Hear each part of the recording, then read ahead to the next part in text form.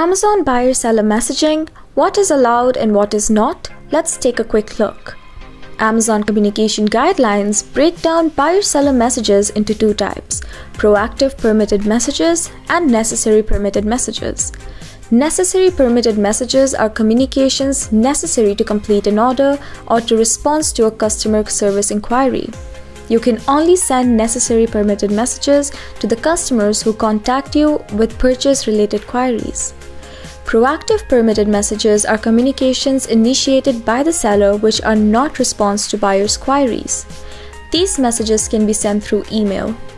When can you use proactive permitted messages? Let's take a look. 1. You can use it to resolve an issue that occurs during order fulfillment. 2. You can use it to send an invoice to your customer. 3. You can use it to verify a customer design for Amazon custom products. 4. You can use it to request any information related to processing the order. 5. You can use it to send queries related to customer returns. 6. You can request a product review or seller feedback using proactive permitted messages. 7. You can use it to schedule Amazon Home Services appointments and product delivery for heavy or bulky items.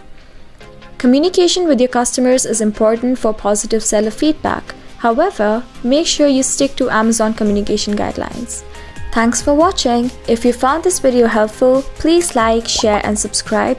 If you have any questions, please leave them in the comment box below. Until the next time, happy selling!